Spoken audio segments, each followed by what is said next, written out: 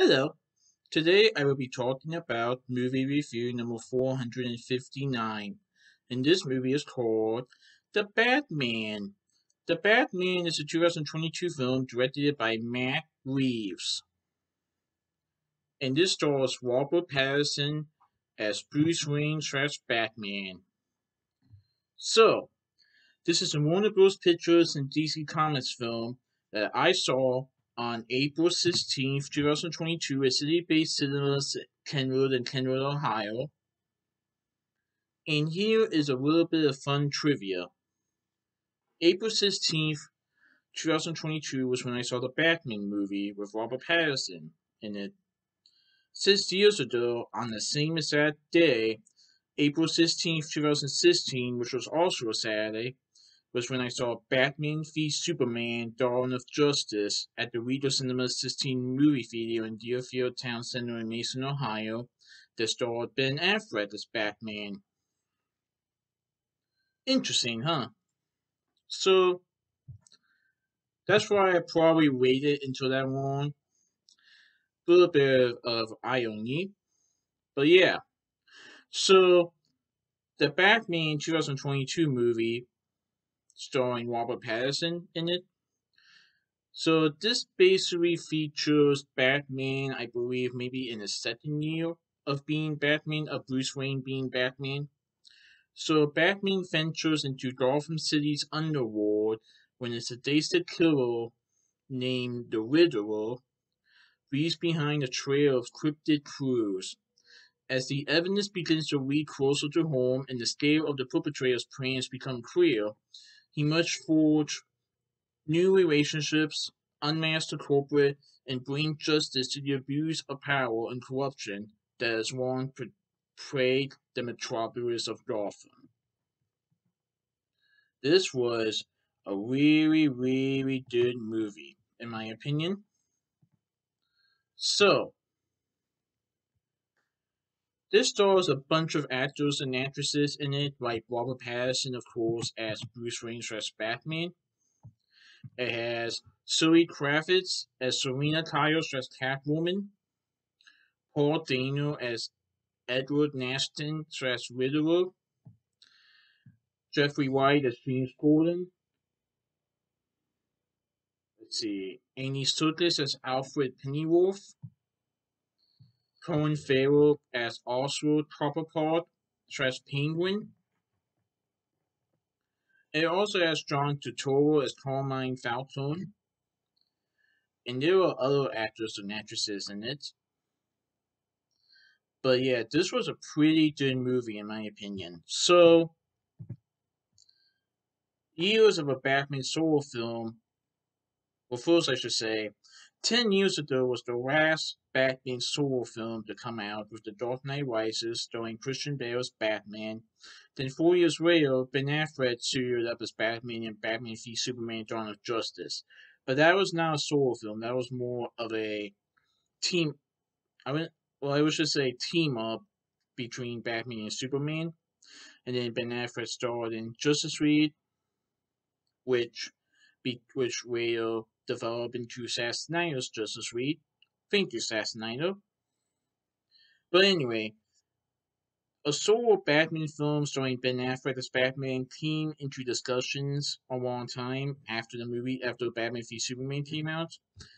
But Ben Affleck decided at first to give the directorial duties to Matt Reeves, Originally, Ben Affleck was going to direct star in the Batman film, but then he decided to drop out of directing, so that got to Matt Reeves. But Ben Affleck decided to quit being the Batman, although he will reprise as Batman in the upcoming Flash movie. But this this became a reboot of the franchise, starring Robert Pattinson as Bruce Wayne slash Batman.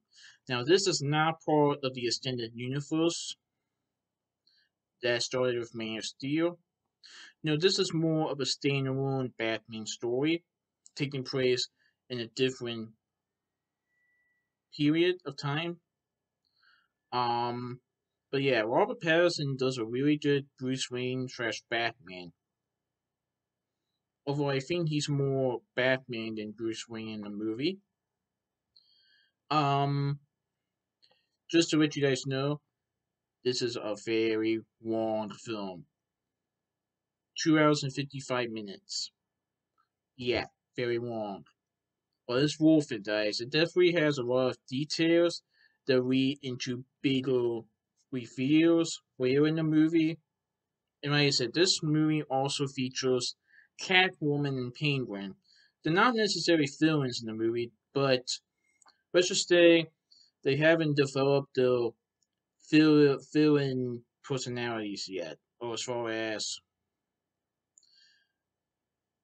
it's kind of like the, the TV series Gotham, where it takes place before they actually become known as these big villains.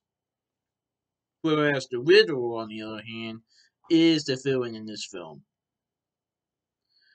And unlike Batman Forever, where Riddler is more of a comedic guy, that's not the case in this one. Yeah, the Riddler in this Batman movie is a sadistic killer and actually darker, I'm going to say. I was really impressed with how they did it. And I thought this movie was pretty good. I write the scenery, I write the acting, and I really like Matt Reeves' take on it because he got to do his version of Batman. And even though I would like to see someday maybe a Ben Affleck Batman solo movie that would have featured Deathstroke, I thought Matt Reeves and Robert Pattinson did a really great job at this movie. In fact, Warner Bros. Pictures just announced that there will be a Batman 2.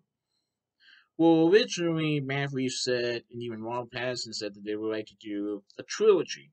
Well, Warner Bros. Pictures just announced that there will be a Batman 2 with Matt Reeves coming back as director and Robert Pattinson coming back as Batman. So that'll be interesting to see.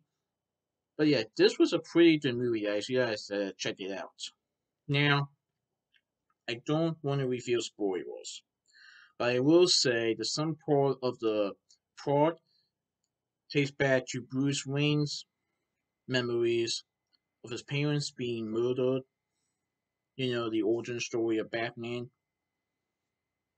But, oh, I really don't want to say this. Um, let's just say,